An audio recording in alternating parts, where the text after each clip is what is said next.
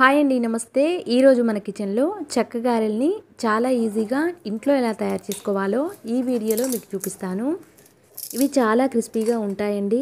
పిల్లల నుంచి పెద్దవాళ్ళు కూడా చాలా ఇష్టంగా తినేస్తారు. ఈ చెక్క గారెలు తయారు చేయడానికి పొడి బియ్య పిండి కావాలి. ఇంట్లో తయారు చేసిందైనా పర్వాలేదు. బయట మార్కెట్లో తీసుకుందైనా పర్వాలేదు. కేజీ వరకు పొడి బియ్యపిండిని తీసుకున్నాను. నెక్స్ట్ మిక్సీ జార్లోకి పచ్చిమిరపకాయ ముక్కల్ని అలాగే కొంచెం అల్లం ముక్కల్ని కొంచెం జీలకర్రని కూడా తీసుకున్నాను. వీటిని కాస్త కోర్స్గా గ్రైండ్ చేయాలి. ఇలా వీడియోలో చూపిస్తున్న విధంగా గ్రైండ్ చేయాలి. నెక్స్ట్ ఇప్పుడు ముందుగా తీసుకున్న పొడి బియ్య పిండిలోకి రుచికి తగినంత ఉప్పుని అలాగే కరివేపాకుని సన్నగా కట్ చేసి ఒక గుప్పెడు వరకు తీసుకున్నాను. నెక్స్ట్ ముందుగా మిక్సీ పట్టిన పచ్చిమిర్చి పేస్ట్ని కూడా వేసేయాలి. ఇలా వేసిన తర్వాత అంతా కూడా ఒకసారి చేత్తో కలిపేయాలి. ఇలా కలిపిన తర్వాత నెక్స్ట్ ఇప్పుడు నానబెట్టిన పెసరపప్పును కూడా వేసేయాలి. పెసరపప్పుని ఒకటికి రెండు సార్లు నీట్గా క్లీన్ చేసి ఒక హాఫ్ అన్ అవర్ పాటు నానబెట్టాను ఇక్కడ నేను కేజీ బియ్యం పిండికి పావు కప్పు వరకు పెసరపప్పుని నానబెట్టి తీసుకున్నాను. ఇలా వేసిన తర్వాత పెసరపప్పు అంతా కూడా పిండిలో కలిసే విధంగా ఇలా కలిపేసి బటర్ని తీసుకుంటున్నాను. బటర్ని ఒక హండ్రెడ్ గ్రామ్స్ వరకు తీసుకోవాలండి. బటర్ వేయటం వల్ల చక్కగారెలు చాలా క్రిస్పీగా ఉంటాయి. అలాగే టేస్టీగా కూడా ఉంటాయి.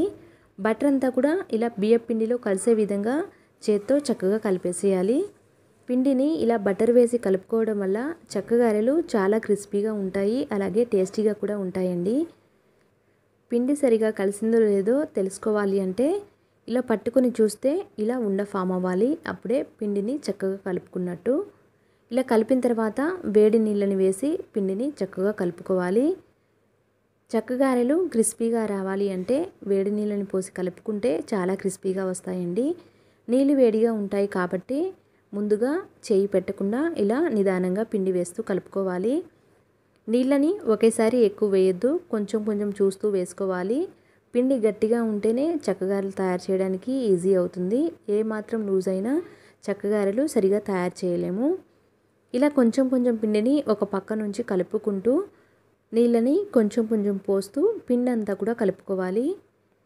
ఇక్కడ చూడండి వీడియోలో చూపిస్తున్న విధంగా పిండిని ఇలా గట్టిగా కలుపుకోవాలి. పిండి అంతా కూడా కలిసిన తర్వాత మళ్ళీ చూపిస్తున్నాను. ఇక్కడ వీడియోలో చూపిస్తున్న విధంగా పిండిని కలుపుకున్న తర్వాత ఇప్పుడు కొంచెం కొంచెం పిండిని చేతిలోకి తీసుకొని రౌండ్గా చుట్టేసుకోవాలి. చక్కగారెలు కొంచెం పెద్దగా కావాలి అంటే పిండిని కొంచెం ఎక్కువ తీసుకొని ఉండల్లాగా చుట్టుకోవాలి. చిన్నగా కావాలి అంటే కొంచెం చిన్న చిన్న ఉండల్లాగా తయారు చేసుకోవాలి.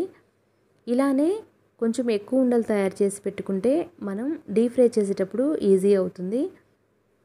ఇలా కావాల్సినన్ని ఉండలు తయారు చేసుకొని పక్కకు పెట్టేసి మిగిలిన పిండి ఆరిపోకుండా ఉండడం కోసం ఒక క్లాత్ని తీసుకొని నీళ్ళలో తడిపి నీళ్ళన్నీ కూడా పిండేసి ఇలా పిండి మీద వేసేయాలి.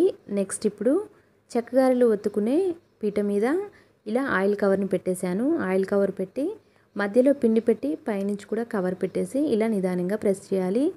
మనకి కావాల్సినంత సైజులో చెక్కగారెలను తయారు చేసుకోవాలి. అయితే మరీ పలుచుగా కానీ అలానే మందంగా కానీ ఉండకూడదు.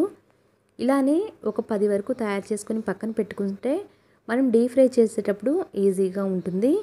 ఇలానే ఎన్ని కావాలి అంటే అన్ని తయారు చేసుకోవచ్చు. ఇలా చెక్కగారెలు ప్రెస్ చేసేటప్పుడే స్టవ్ మీద నూనె పెడితే నూనె కూడా ఈ లోపు వేడై ఉంటుంది. ఇక్కడ నేను కొన్ని తయారు చేసి పెట్టేసాను ఇలా తయారు చేసిన తర్వాత నూనె చక్కగా వేడి కావాలి. నూనె బాగా వేడైతేనే చక్కగారెలు క్రిస్పీగా ఉంటాయి లేకపోతే మెత్తగా ఉంటాయి. ఇలా వేసేసి కొంచెం నిదానంగా రెండు వైపులా కూడా మంచిగా రంగు మారే వరకు డీప్ ఫ్రై చేయాలి. చక్కగారెల్ని నూనెలో వేసేటప్పుడు కొంచెం ఎక్కువ ఎక్కువ వేసినా కొంచెం డీప్ ఫ్రై అవ్వగానే విడివిడిగా ఉంటాయండి. గ్యాస్ని మీడియం ఫ్లేమ్లో పెట్టేసి అన్నీ కూడా రెండు వైపులా మంచి గోల్డెన్ కలర్ వచ్చే వరకు డీప్ ఫ్రై చేసేయాలి. అన్నీ కూడా రంగు మారిన తర్వాత పక్కకు తీసేస్తే ఈ చక్కగారెలు చాలా క్రిస్పీగా ఉంటాయి. పిల్లలకి స్నాక్స్ ఏమీ లేనప్పుడు ఇలా తయారు చేసి పెడితే అప్పుడప్పుడు వీటిని చక్కగా తినేస్తారు. పిల్లలే కాదండి పెద్దవాళ్ళు కూడా టీ టైంలో స్నాక్స్ లాగా ఉపయోగపడుతుంది. ఇక్కడ చూడండి వీడియోలో చూపిస్తున్న విధంగా మంచిగా రంగు మారిన తర్వాత పక్కకు తీసేస్తున్నాను. ఈ చెక్కగారెలోకి మనం బటర్ వేసి చేస్తున్నాం కదా ఒకవేళ బటర్ వేయటం ఇష్టం లేకపోతే నూనెని కొంచెం వేడి చేసి నూనె వేసి పిండిలో కలుపుకుంటే అప్పుడు కూడా చెక్కగారెలు క్రిస్పీగా వస్తాయి. కాకపోతే పిండి కలుపుకునేటప్పుడు నీళ్ళని బాగా మరిగించి వేడి నీళ్ళని పోసి పిండి కలుపుకోవాలి.